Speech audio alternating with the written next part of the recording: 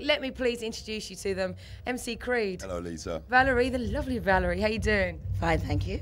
And Pied Piper. How did the group form? Why did you all get together? Well, uh, base, basically, I spoke to Eugene and his brother ages ago about doing a track like all, all of us were doing different pro- projects and we all decided to come together a while back but we didn't really have the time to do it and then we got the time and we all come together bosh bob's your uncle Just like to say, there's actually two members missing. Unknown MC is actually shooting a video for some uh, another project that he's doing. PSG, he's working I yeah, he's working Yeah, somewhere else. Sweden. but but um he'll be back later on for our PA Tell us a little bit about the tune. The track is based um, around uh, what Rappers Delight. Do you ever rem- uh, remember Yeah. Rappers Delight? And also um, Good Times, um, MCing and the singing. all the lyrics on it are original Yeah, I sing the the good rhymes part, um, which is Go on then, go on then, go on then.